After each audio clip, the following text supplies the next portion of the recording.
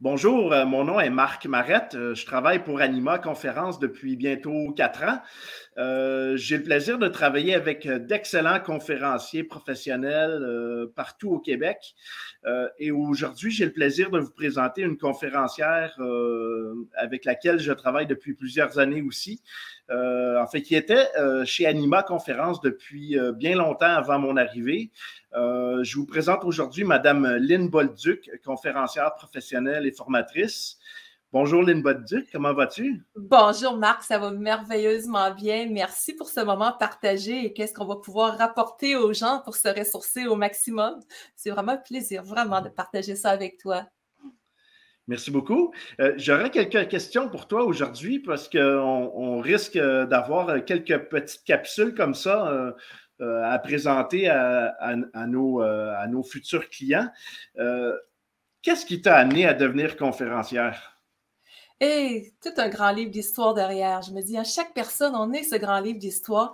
Et ça fait depuis 1995 que je fais ce métier-là, de parcourir le monde pour aider les entreprises, les gens du grand public à s'élever dans leur réalité personnelle et professionnelle. Mais tout est parti de mon histoire d'une petite fille très timide qui a vécu beaucoup d'intimidation à l'école, euh, des crises de panique, d'anxiété, beaucoup de tristesse, je considère avoir eu des bons parents, mais on a chacun notre personnalité.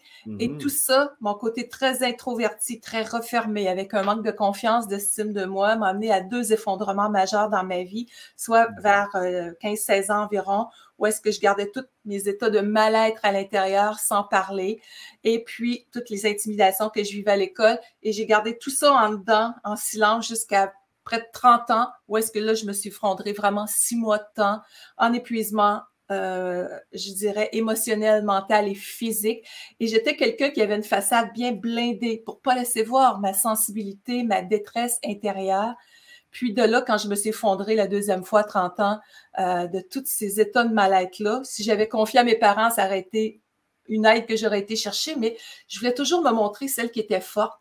Donc, c'est pas un hasard si j'aide les gens aujourd'hui. Donc, c'est devenu un besoin essentiel de me ressourcer à un moment donné dans ma vie, de faire des formations pour m'en sortir.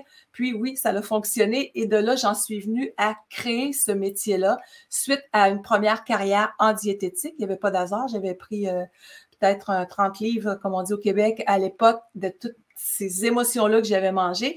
Et de là, ce grand parcours-là transformé en force, en quelque chose qui m'amenait dans une sérénité intérieure, fait qu'en 1995, j'ai créé ma carrière tous mes propres contenus. Et de là, au moment où on se parle, il y a près de 3000 conférences, formations qui ont été prononcées, autant ici en Europe, quand je dis ici au, Québec, vous entendez mon soupçon d'accent québécois, c'est des gens de l'étranger qui m'écoutaient.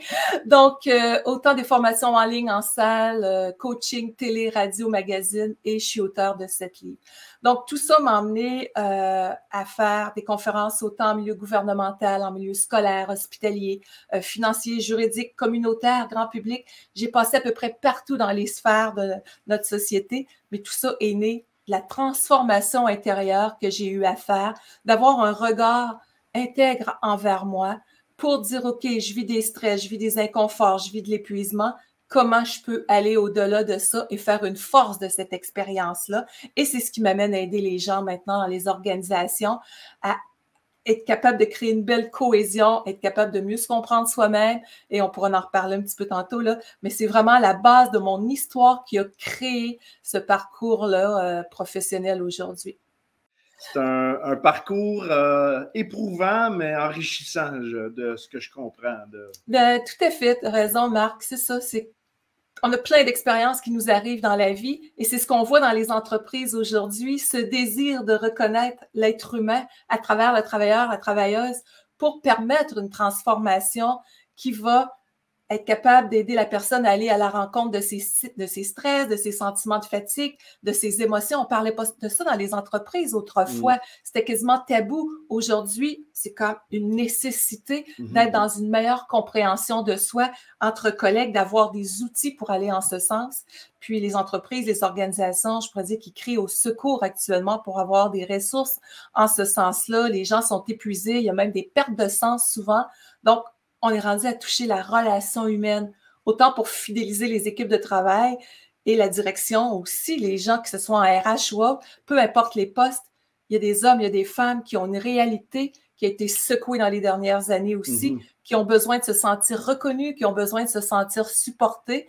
Et c'est mm-hmm. ce que je fais à travers les organisations depuis 1995, mais encore plus amplifié, avec une présence encore plus récurrente actuellement, parce que les gens se rendent compte que on n'est pas des machines à produire dans une organisation, mais on est mm-hmm. une personne, un être qui choisit de donner des heures de sa vie chaque jour à la croissance d'un milieu et l'organisation aussi, quand elle reconnaît cet espace intérieur-là, on crée des milieux épanouis, extraordinaires.